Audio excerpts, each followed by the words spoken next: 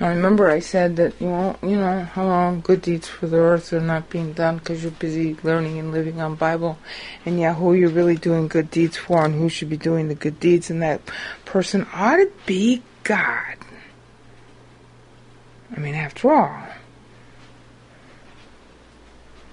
deeds that you can do can't quite possibly be as good as deeds God can do. But I sort of skipped over that and said, well, who's, who should you be doing good deeds for? And the answer has to first be God.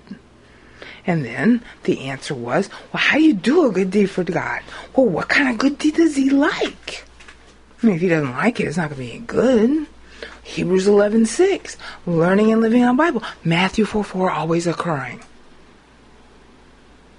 because every moment forever lives to Him. So, learning to think like Christ, even when you're trying and failing, those are all those moments you're learning and living on Bible. And okay, you pasted the sweetheart soap wrong, but you tried. They will be forever alive to God, those moments. So they please Him, right? Hebrews 11:6 says they do. Thinking and learning to think like Christ even when you fail is more pleasing than anything else because his thinking paid for sins. And God will see to it that you learn to actually think like Christ does. Keep on thinking this in you, which is also in Christ Jesus, Philippians 2 5 through 10. The Holy Spirit just threw that at me. There you go. It's even a command. Christ in you, the confidence of glory. Just threw that at me. See, that's where the glory comes from. Okay, so now we get back to okay, fine, but see, the world isn't getting the benefit of your attention. And just like Satan said in Matthew 4, sotto voce, fine, you're fasting. Fasting in the ancient world in the Mosaic Law was done so you could spend more time studying Bible. That was what it was for. So you didn't have to spend time on food. You trusted God to keep your body together while you didn't eat so that you could study more. Okay, Christ, you're fasting for 40 days and 40 nights.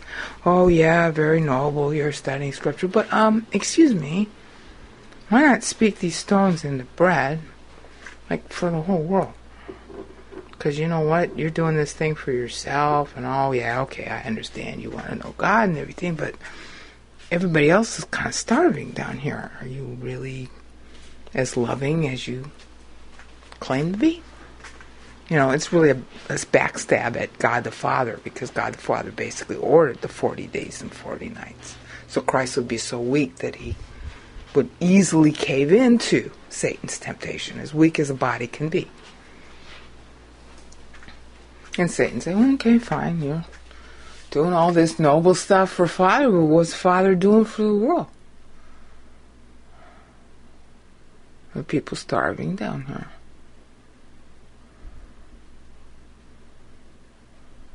Are people hurting down here? They go to hell if they don't believe in you.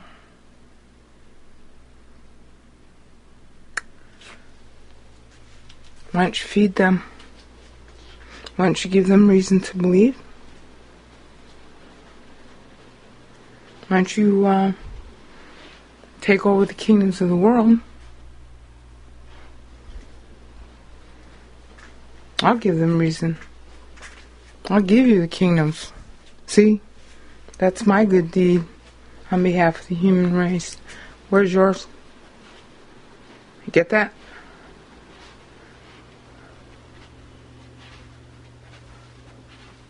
Okay. So here you are learning and living on Bible and actually doing what God wants. Matthew 4 4 always occurring. Therefore replying to Satan indirectly, even though you're not thinking about it that way. I'm going to learn and live on every word that proceeds from the mouth of God. I'm not going to live, you know, care about whether or not I eat. That's for God to decide. It's secondary. The belly is secondary to Bible. So, God first. It's up to God to decide. I want to really circle on this. It's up to God to decide what bread you get.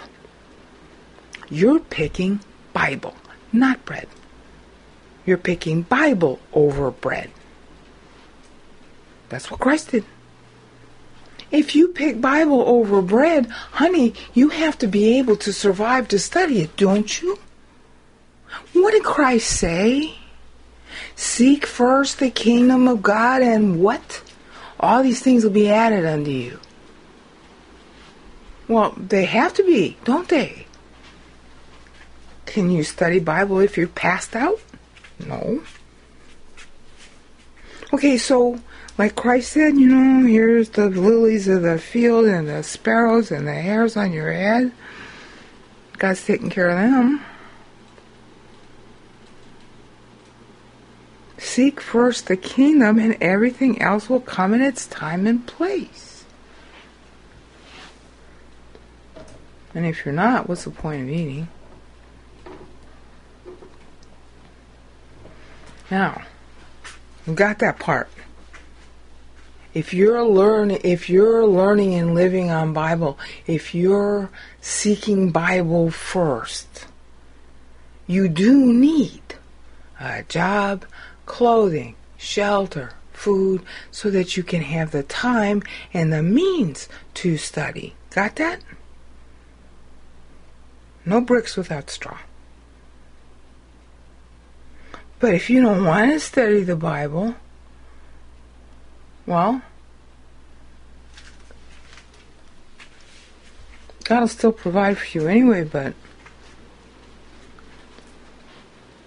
sure would be nice if the kind of provision you got was based on Bible, don't you think? So now let's look at the flip side because this is the most important part. That the, the the argument, the bitching that Satan's doing. He said, well, you know, here are all these believers just studying and you're providing for all their needs because they're studying because you're so pleased. Okay, but you're ba- all these believers are basically guilty the way Christ is guilty because they're putting God before everything else, and the world is basically getting shafted. Mm, well, of course, the premise of that is wrong because if the world were interested in Bible too, God would be doing for them what He's doing for me. I have to have body and soul together. I have to be able to pay bills. I have to be able to eat and be in reasonable enough health in order to study Bible. So I get those things. Now, if I didn't want to, well, then aren't I voting that God not be involved in my life? Right? If I don't want to study Bible, then I don't really want to be involved with God. I don't want to learn God, so I'm not voting for Him to provide for me, am I? If I'm voting for Bible, I need Him to provide for me in order to get the time for that. It's a question whether He'll agree to it still. It's up to Him. But He says He will. Okay, and if I'm not doing that well, then I'm really not voting to have God's involvement in my life, am I? So, how much bread should I get then? I obviously don't need it as much, or I don't care if I get it from him. Maybe I want to get it myself my own way. Okay, so he stands off. So when the world is hungry, maybe that's why. It doesn't want God to give them the bread. Few times he did it in the Gospels, it freaked everybody out so much that the, most of the disciples left him. Only the twelve remained.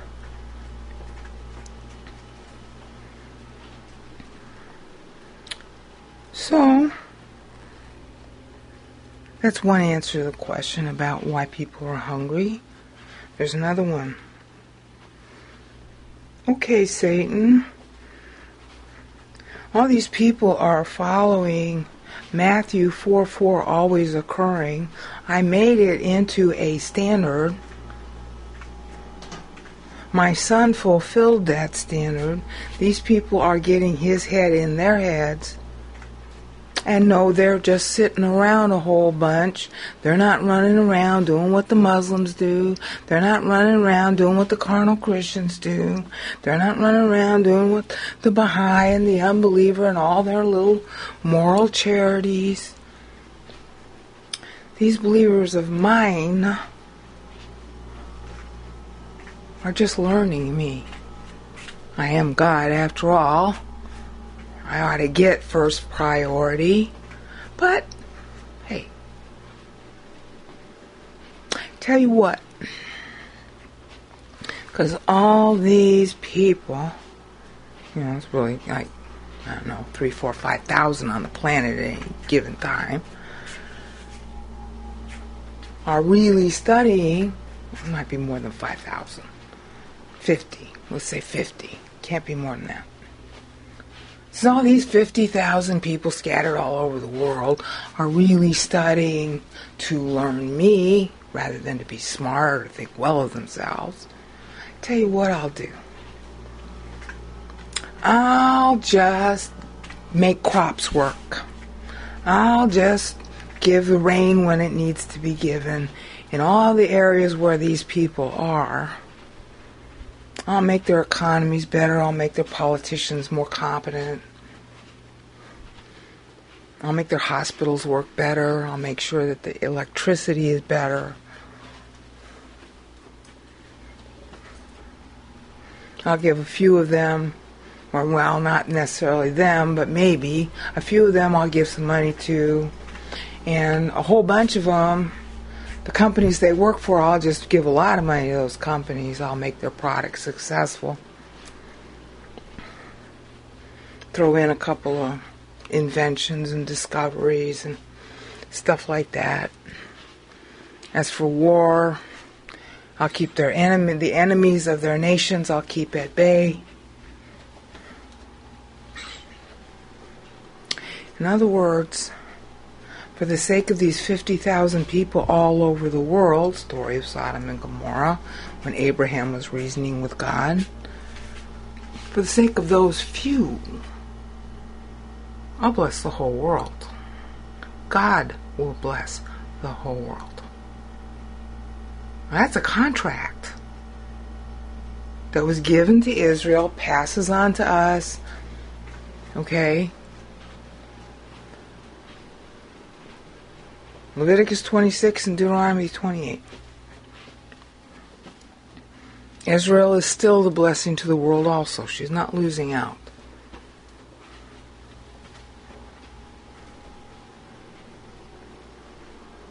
Paul explains the relationship between the two in Romans 11. So go look that up. But you see the point? You can't make the weather better. You can't make competi- uh, politicians more competent. You can't make, you know, name it. Companies suddenly get a lot of money because they, they make a new invention. You can pray for those things. Ooh.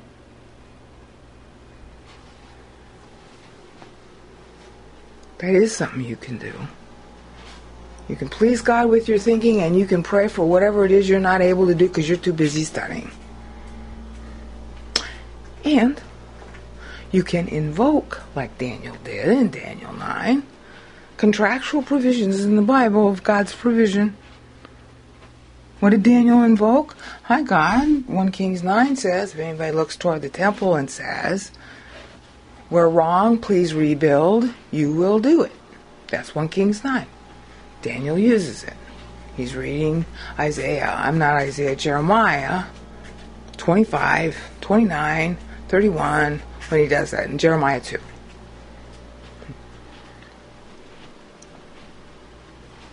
Daniel invokes the contract. In Daniel 9. Rebuilt. Because as long as the temple could go back and stay standing, then the world was allowed to live. Okay, well, but there are other contracts too. Like Leviticus 26, Deuteronomy 28, ask anything in my name and I'll do it. So you can invoke those contracts. You can ask God anything in His name. God can just flat out say hi because Brain Out is studying today. I'm so pleased with that because it's Matthew 4 4 always occurring. I think I'll just bless the entire city of Houston. That's how it's always worked. So you see, I know this has been really long audio, but you see the extreme difference between what we think are good deeds and what they really are? First of all, you can't do a good deed as good as God can do. Secondly, the deeds God does do because you just simply study Bible are gigantic.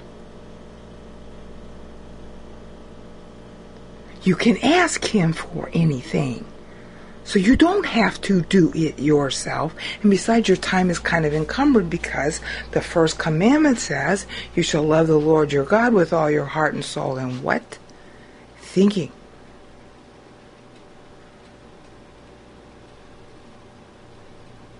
Can't do that if you don't have anything to think. Can't do that if you don't have the right thinking in your head. Can't get the right thinking in your head unless you study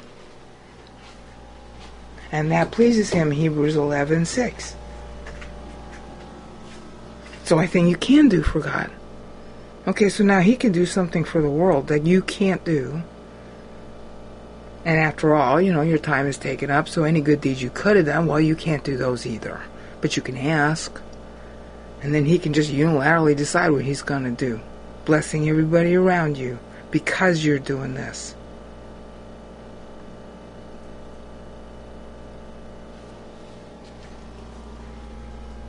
Matthew 4 4 always occurring. You can see why he picked something big to do. That moment when you first learned 1 John 1 9, that moment when you started using it, those are memories in our parlance, but to God they're always occurring. It's of infinite value infinite because it lasts forever, infinite because the quality is God quality because God's enabling this to happen to you. Only God can make you learn Bible. And infinite in quality also because the recipient's enjoyment is of infinite quality. So, yeah, you could have given a cup of water in the Lord's name in order to feel good about yourself, which would have tainted the entire action. Well, you could be learning and living on Bible, which can change the GDP of an entire country. You could pray for people in Africa to get the Bible. Remember, seek ye first the kingdom Pray for them to get Bible. Pray for Bible to break out everywhere that everybody can get it. Pray for the missionaries. If you pray for the Bible distribution and teaching and learning first, then all that economic stuff has to follow in order to support the Bible learning. You got that? Now you're acting like a king. You're asking, you're learning, you're thinking, you're sitting, you're it's all in your head and the pressure is enormous like I've already described. Constant zigzag, zigzag, zigzag, thrust parry. Because you know, Satan and company are not idle. They're going to attack you with thoughts. If God can send you thoughts, so can they. Okay, fine, but it's all in your head. That's all that goes with you to heaven anyway, is your soul. The real you is your soul. Okay, that's an entirely different and executively higher, royally higher good deed done by God than anything anybody on this planet can do. And the only kind that does good for God. Because of the thinking. That's learning Christ thinking. And yeah, okay, you're making lots of sweetheart soap and putting decals on. Because that's the only way you know how to do for mommy in the beginning. But that's okay. You'll get taught how to do it better. You'll get taught how to make other gifts in your thinking.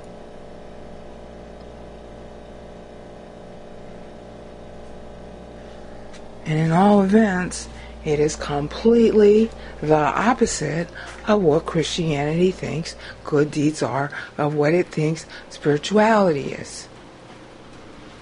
Christianity says, oh, you gotta do stuff with your body or you're not a good Christian. God says, anything you do with your body goes into your mouth and out what? That's what Christ said. It goes into your mouth and is excreted. Comes out the other end. It's what comes out of your mouth that defiles you. Out of your mouth, meaning your thoughts. But Christianity doesn't care about your thoughts. Christianity only cares about whether you look good to other Christians. And in that sense, Christianity is just like all the other religions because they all stress the same thing do, do, do, do, do, do, do, do, do, do. Coming out the other end. Christianity says if you are regarded as superior to another person, that's good. God says, I'm making you superior to everybody else and you're going to hate it so you understand why I came down to the human race rather than lord it over the human race. Being better than somebody else hurts. Yeah, and once you find out you are really are better than others, you're going to hate it because it's separating, it's isolating. It's like, oh, I can't take it. I'm rich, this person is poor. Please, can I just give money to them so they don't have to be poor? I can't stand it that they're poor. No, you can't give money to them. It's not a money problem. Okay, God, can I pray for it? Yes, you can pray for it. And now I will do it. See the difference? So all those Christians running around with their charities and stuff, huffing and puffing and putting ten dollars in the collection plate, they could have spent thirty seconds and said what I just said now. You don't think God heard me just now when I was talking on this audio? Of course he didn't. It's not the only time I ask him. I'm always asking him. Yeah, 30 seconds I ask him, well, he does it. God says, light be, Genesis 1 2. God says, Kenya, okay, I'm going to provide. Whole GDP of the country is going to be affected. I want Brain Out wants Bible in Kenya, so that's where it's going to be. And the whole GDP and the whole political situation and all the economy and everything else has to be improved now. Because Brain Out asked for it. What's a big good deed? And who did it? Not me. I asked for it. It's going to have my name on it forever because it's Matthew 4 4 always occurring. You're getting the drift of the difference? So this was a head to head, apples to apples, long winded comparison of God deeds versus good deeds, and good deeds by who, and good deeds for who with the keynote being Matthew 4 4 always occurring and Hebrews 11 6. Because the kings sit and learn to think, and the peasants, well, they do, do, do. Now, who's got the money? Who's got the power? Who can really feed the world? And what do you feed them in order to feed them? Bible first. Matthew 4 4. Seek ye first the kingdom of God, and all these things will be added to you. Whoa, now we have a better idea what that means, huh? Ta ta.